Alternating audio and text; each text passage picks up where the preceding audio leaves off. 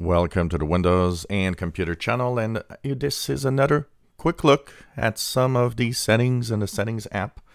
And this time we're going to look at the settings that have to do with the start menu because there's quite a few settings that you might want to check out in the start menu.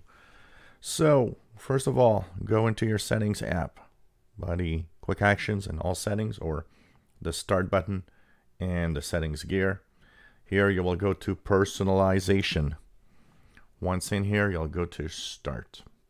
So here are the different switches that turn on or off some of the features of the start menu. The first one is show more tiles on start. So this is my start. This is what it looks like right now.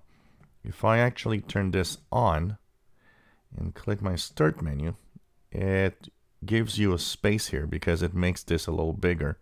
So means that you can actually see a little more of the tiles that would be here. Now, I don't have a lot of tiles. That's why there's no, uh, doesn't show more of it. But this is actually a way of trying to get you to see more at the same time on the start menu.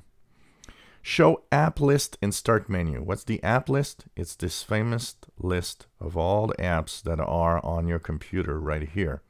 So if you actually turn this off, you can actually lose the list. If you don't want to have that list there, well, this is the way to turn on or off the start menu list.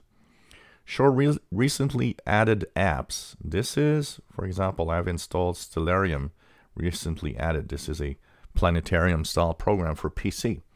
Well, if I don't want to see what's recently been added, I can turn this off and it won't show any new features or apps at the top that I have added.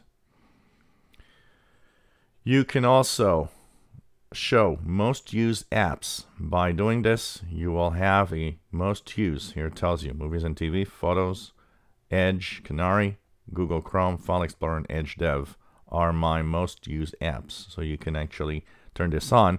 One of the um, cool things about most used apps is because most of the time, the most used apps are the one you always refer to. So by having that list there, you have a very quick access in the start menu to your favorite apps most of the time. Show suggestions occasionally and start. This is kind of a um, an ad, if you want. It will actually show you some um, you know apps that Microsoft wants you to use honestly, the suggestions I will always turn off and make sure that it's not on. I don't like that kind of thing. You can have a full screen start menu, which means that once this is on, you have a full screen start menu now, which is different. It's a little bit like having the start menu when you have the um, uh, tablet mode, but you still stay in your regular PC mode if you want. And finally, you have show recently opened items in the jump list on the start or taskbar and File Explorer Quick Access. What's that?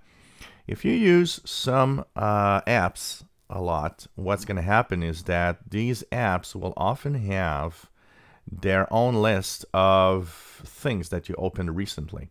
So that means that when you actually go to uh, an app, if that's on, you will often have uh, suggestions of everything that you have actually um, opened.